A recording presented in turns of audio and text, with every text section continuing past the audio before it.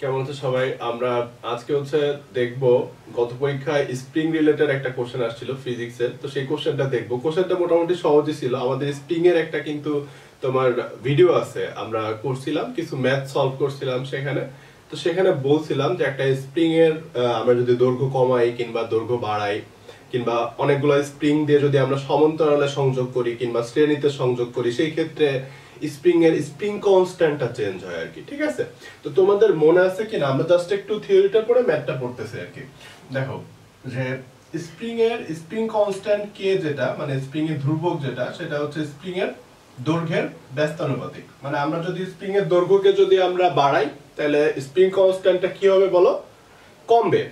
আর spring এর দৈর্ঘ্যকে আমরা যদি কমাই, তাহলে স্প্রিং কনস্ট্যান্টটা কি হবে বলো? বাড়বে।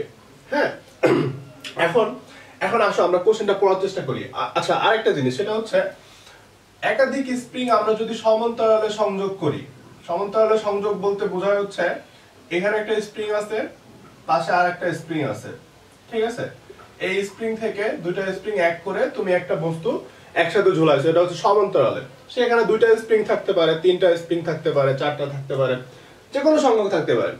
আবার কেমন হইতে পারে দেখো? শ্রেণি সংযোগ হইতে পারে। শ্রেণি সংযোগ জিনিসটা কি?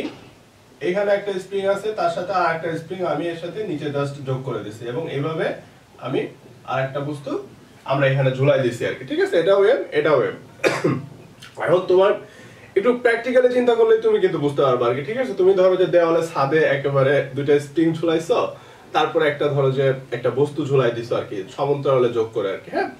তো একটু মাথায় চিন্তা করার চেষ্টা করো তো যে কোন ক্ষেত্রে আসলে বেশি বস্তুটা নিচে ঝুলে পড়বে আর কি? কোন ক্ষেত্রে ঝুলে পড়বে? দুটো স্প্রিং সমান্তরালে যখন থাকতেছে তখন, নাকি দুটো স্প্রিং সিরিজে যখন থাকতেছে? মানে শ্রেণীতে যখন থাকতেছে তখন। নিশ্চয়ই শ্রেণীতে যখন থাকতেছে তখন। বুঝতে পারছি? ওকে আমরা তাহলে এখন ম্যাথে চলে যাই। ম্যাথটা কি ছিল দেখো, একটু পড়ার চেষ্টা করি আমরা। তোমরা আশা করি সবাই পারছ। তো যারা যারা পারছ, তারা কমেন্টে জানাবা। পারছ? হ্যাঁ?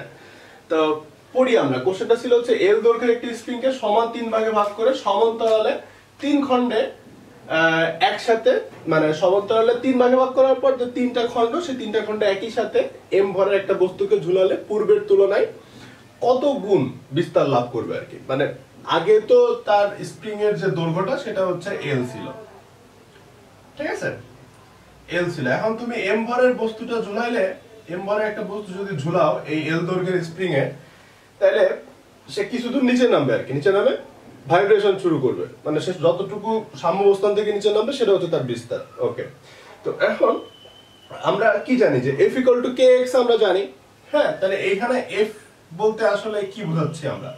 M G M G equal to কি আসতেছে দেখো? কে এক্স ঠিক আছে? তাহলে এখানে তার যে বিস্তার এক্স ইকুয়াল টু কি আসতেছে বলো? M G by K okay fine তো এখন আমরা কি করছি? আমরা এই স্প্রিংটাকে কাটছি কেটে সমান তিনটা ভাগে ভাগ করছি। মনে করো এখানে একটা ভাগ, এখানে একটা ভাগ, তিনটা ভাগে ভাগ করছি। তিনটা ভাগে ভাগ করে পরে তাকে সমান্তরালে যোগ করছি। মানে যে এইটা হচ্ছে সেই তিন ভাগের এক ভাগ, মনে করো। এটা হচ্ছে তিন ভাগে আর একটা পোর্শন এটা হচ্ছে আর একটা পোর্শন ঠিক আছে? এইখান থেকে আমরা এম ভরের একটা বস্তু ঝুলাইছি। তাহলে আসলে কি হয়েছে দেখো, তাহলে আসলে এই স্প্রিং এর স্প্রিং কনস্ট্যান্টটা চেঞ্জ হয়েছে। চেঞ্জ হয়ে স্প্রিং কনস্ট্যান্ট হয়ে কি হয়েছে বলো? স্প্রিং কনস্ট্যান্ট চেঞ্জ হয়ে তোমার কে নাই নিশ্চয়ই? হ্যাঁ তাহলে দেখো তাহলে এই পোর্শনটা এই যে যে একটা পোর্শন এটা একটা পোর্শন এটা একটা পোর্শন তিনটা পোর্শনের স্প্রিং কনস্ট্যান্টটা কি হবে বলো? সেম হবে, কিন্তু কে হবে না? কি হবে না বলো? কে হবে না। কেন কে হবে না বলো তো? কারণ আমি তার দৈর্ঘ্য চেঞ্জ করে ফেলছি। তাহলে দৈর্ঘ্যের সাথে এই প্রত্যেকটা অংশের সম্পর্ক কি? দৈর্ঘ্যের সাথে স্প্রিং কনস্ট্যান্ট সম্পর্ক কি বলো? ব্যস্তানুপাতিক তাহলে এইখানে যদি তার স্প্রিং কনস্ট্যান্ট কে হয়, তাহলে এখানে কি হবে বলো? এখানে হবে হচ্ছে তোমার থ্রি কে কত হবে বলো থ্রি কে মানে এটার স্প্রিং কনস্ট্যান্ট থ্রি কে এটার স্প্রিং কনস্ট্যান্ট থ্রি কে এটার spring constant three K okay fine দেখো, জিনিসটা কি, আমরা গোলদিন ধারকের কথা বলছিলাম, যে ধারক দিয়ে আমরা এই স্প্রিং এর সমান্তরাল কিংবা শ্রেণি সমবায় আমরা বুঝতে পারি আর কি, ঠিক আছে? ধারক দিয়ে কীভাবে বুঝতে পারি? ধারক কি ধারণ করে বলো? চার্জ ধারণ করে। এইখানে স্প্রিংগুলো যখন সমান্তরাল সমবায়, তখন সে কি ধারণ করতেছে? ভর ধারণ করতেছে। ঠিক আছে? তাইলে ধারকের সমান্তরাল সমবায়ের ক্ষেত্রে আমরা কি করতাম বলো? C equal to C one plus C two plus C three মানে জাস্ট নর্মালি যোগ করতাম। তো এই ক্ষেত্রে যেহেতু ধারক ধারক আর স্প্রিং এর সমান্তরাল সমবায় সেম মানে ধারকের সমান্তরাল সমবায় স্প্রিং এর সমান্তরাল সমবায় সেম ধারকের শ্রেণি সমবায় স্প্রিং এর শ্রেণি সমবায় একই। হ্যাঁ এবার এটা হচ্ছে just আমরা একটা মনে রাখার টেকনিক বলতেছি আর কি ঠিক আছে? তুমি সহজে এইভাবে মনে রাখতে পারো। তাহলে এই স্প্রিং কনস্ট্যান্টটা কত আসতেছে? টোটাল এই যে যে একটা সিস্টেম এই সিস্টেমের স্প্রিং কনস্ট্যান্ট আসতেছে হচ্ছে 3k plus 3k plus 3k equal to হচ্ছে কত বলো? 9k ক্লিয়ার ওকে তো এখন দেখো, এখন আমাদের এফ এর তো কোনো চেঞ্জ করিনি আমরা। এফ তো আমাদের এমজি আছে। মানে নিচের দিকে যেটা, সেটা হচ্ছে এমজি আছে। তো এই যে যে সিস্টেমটা এই সিস্টেমটার যে স্প্রিং কনস্ট্যান্ট সেই স্প্রিং কনস্ট্যান্টটা কত বলো? 9k ঠিক আছে? ওকে তো তুমি বুঝতেই পারতেছো যে, এখানে যেহেতু স্প্রিং কনস্ট্যান্ট ডিফারেন্ট তাহলে তোমার নিশ্চয়ই বিস্তারটা এক্স হবে না। অন্য কিছু একটা হবে। সে অন্য কিছুকে আমরা মনে করো যে এক্স প্রাইম ধরে নিচ্ছি। কি ধরতেছি বলো? এক্স প্রাইম তাহলে এক্স প্রাইম ইকুয়াল টু কত আসতেছে? এম জি বাই নাইন কত বলো? এম জি বাই এখন তোমাকে বলছে কি? তোমাকে বলছে হচ্ছে অনুপাত বের করতে। মানে আগের তুলনায় কত গুণ বেশি বা কত গুণ কম? আমরা দেখতে পাচ্ছি কমই আসলে। এর একটা হচ্ছে এমজি বাই কে একটা হচ্ছে এমজি বাই নাইন কে তাহলে সবসময়ের জন্য পরবর্তী বাই পূর্ববর্তী, ঠিক আছে? মানে তুমি চেঞ্জ করার পর কত হয়েছে ডিভাইডেড বাই চেঞ্জ করার আগে কত ছিল? এই দুটো অনুপাতে আসলে বের করতে হয় আর কি ঠিক আছে? এটা একটা কনভেনশন বলতে পারো। তো এটা বা এটা করলে আসলে বেসিক্যালি দেখো, এই যে আমরা যদি এই, এটাকে, এটাতে যদি ভাগ করি, তাহলে আসবে হচ্ছে ওয়ান বাই নাইন ঠিক আছে? বুঝে গেছে?